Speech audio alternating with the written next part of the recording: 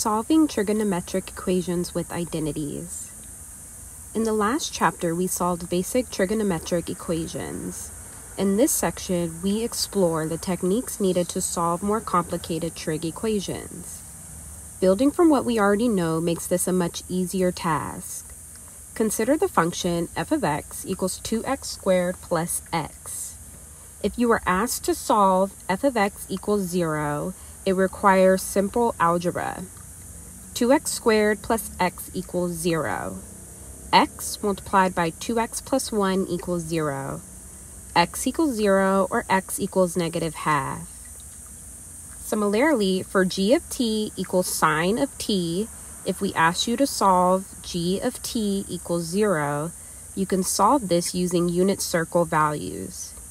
Sine of t equals 0 for t equals 0, pi, 2 pi, and so on. Using these same concepts, we consider of these two functions, f of g of t equals 2 multiplied by sine of t squared plus sine of t equals 2 sine squared of t plus sine of t. This creates an equation that is a polynomial trig function. With these types of functions, we use algebraic techniques like factoring in the quadratic formula along with trigonometric identities and techniques to solve equations. As a reminder, here are some of the essential trigonometric identities that we have learned so far. Identities. Pythagorean identities. Cosine squared of t plus sine squared of t equals 1. 1 plus cotangent squared of t equals cosecant squared of t. 1 plus tangent squared of t equals secant squared of t. Negative angle identities. Sine of negative t equals negative sine of t. Cosine of negative t equals cosine of t. Tangent of negative t equals negative tangent of t. Cosecant of negative t equals negative cosecant of t. Secant of negative t equals secant of t cotangent of negative t equals negative cotangent of t. Reciprocal identities. Secant of t equals 1 divided by cosine of t. Cosecant of t equals 1 divided by sine of t. Tangent of t equals sine of t divided by cosine of t. Cotangent of t equals 1 divided by tangent of t. Example 1. Solve 2 sine squared of t plus sine t equals 0 for all solutions with 0 less than or equal to t less than 2 pi. This equation kind of looks like a quadratic equation, but with sine of t in place of an algebraic variable, we often call such an equation quadratic in sine. As with all quadratic equations, we can use factoring techniques or the quadratic formula. This expression factors nicely, so we proceed by factoring out the common factor of sine of t.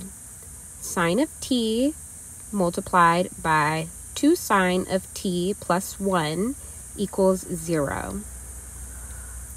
Using the zero product theorem, we know that the product on the left will equal 0 if either factor is 0, allowing us to break this equation into two cases sine of t equals 0 or 2 sine of t plus 1 equals 0.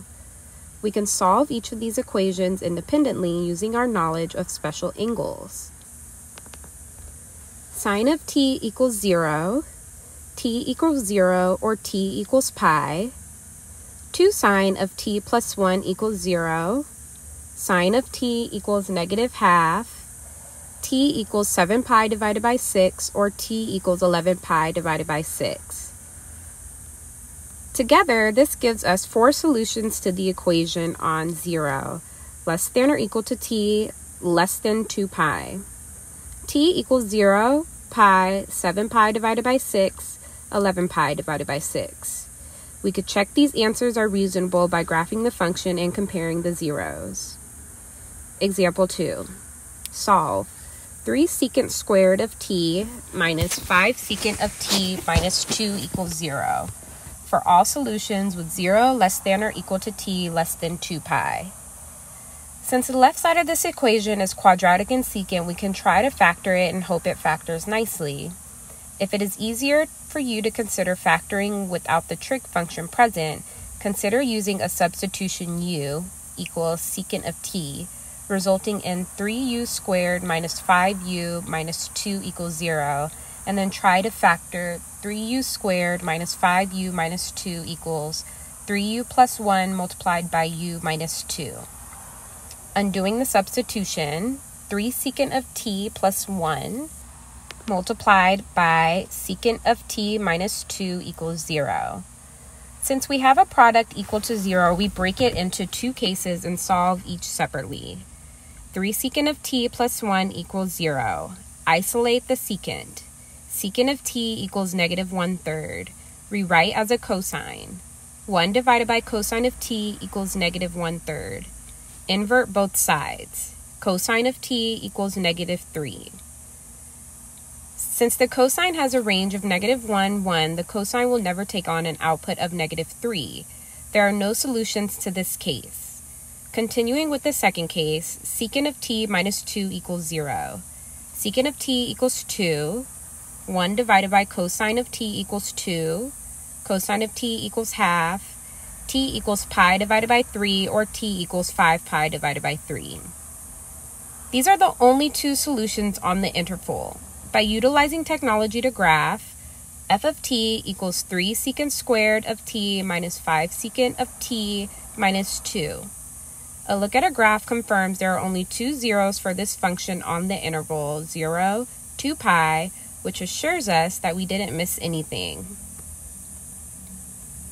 When solving some trigonometric equations, it becomes necessary to first rewrite the equation using trigonometric identities. One of the most common is the Pythagorean identity. Sine squared of theta plus cosine squared of theta equals 1, which allows you to rewrite sine squared of theta in terms of cosine squared of theta or vice versa. Identities. Alternate forms of the Pythagorean identity. Sine squared of theta equals 1 minus cosine squared of theta. Cosine squared of theta equals 1 minus sine squared of theta. These identities become very useful whenever an equation involves a combination of sine and cosine functions. Example 3. Solve 2 sine squared of t minus cosine of t equals 1 for all solutions with 0 less than or equal to t less than 2 pi. Since this equation has a mix of sine and cosine functions, it becomes more complicated to solve. It is usually easier to work with an equation involving only one trig function. This is where we can use the Pythagorean identity. 2 sine squared of t minus cosine of t equals 1, using sine squared of theta equals 1 minus cosine squared of theta, 2 multiplied by 1 minus cosine squared of t minus cosine of t equals 1. 2 minus 2 cosine squared of t minus cosine of t equals 1. Since this is now quadratic and cosine, we rearrange the equation so one side is 0 and factor. Negative 2 cosine squared of t minus cosine of t plus 1 equals 0. 2 cosine squared of t plus cosine of t minus 1 equals 0. 2 cosine of t minus 1 multiplied by cosine of t plus 1 equals 0. This product will be 0 if either factor is 0, so we can break this into two separate cases and solve each independently. 2 cosine of t minus 1 equals 0, or cosine of t plus 1 equals 0. Cosine of t equals half, or cosine of t equals negative 1 t equals pi divided by 3 or t equals 5 pi divided by 3 or t equals pi. In addition to the Pythagorean identity, it is often necessary to rewrite the tangent, secant, cosecant, and cotangent as part of solving an equation. Solve tangent of x equals 3 sine of x for all solutions with 0 less than or equal to x less than 2 pi. With the combination of tangent and sine, we might try rewriting tangent. Tangent of x equals 3 sine of x. Sine of x divided by cosine of x equals 3 sine of x. Sine of x equals 3 sine of x multiplied by cosine of x. At this point, you may be tempted to divide both sides of the equation by sine of x. Resist the urge. When we divide both sides of an equation by a quantity, we are assuming the quantity is never zero. In this case, when sine of x equals zero, the equation is satisfied, so we'd lose those solutions if we divided by the sine. To avoid this problem, we could rearrange the equation so that one side is 0. Sine of x minus 3 sine of x multiplied by cosine of x equals 0. Sine of x multiplied by 1 minus 3 cosine of x equals 0. From here, we see we can get the solutions when sine of x equals 0 or 1 minus 3 cosine of x equals 0. Using our knowledge of the special angles of the unit circle, sine of x equals 0 when x equals 0 or x equals pi. For the second equation, we will need the inverse cosine. 1 minus 3 cosine of x equals 0, cosine of x equals 1 third, x equals cosine inverse of 1 third, approximately 1.231, x equals 2 pi minus 1.231 equals 5.052 we have four solutions on 0 less than or equal to x less than 2 pi. x equals 0, 1.231, pi, and 5.052.